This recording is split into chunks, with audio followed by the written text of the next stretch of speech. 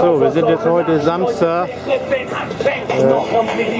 es ist kurz nach halb vier, Ad Acta Demo, hier Bilderberger Scholz Museum. Äh, es gab jetzt vorhin einen kleinen, kleinen Vortrag, äh, demomäßig. Und jetzt begibt sich die Demo auf eine kleine Rundreise. Wir ziehen jetzt hier einfach einmal ein bisschen rum und dann gucken wir mal weiter. Trotzdem irgendwie ziemlich wenig Leute hier heute unterwegs. Also wirklich nicht viel.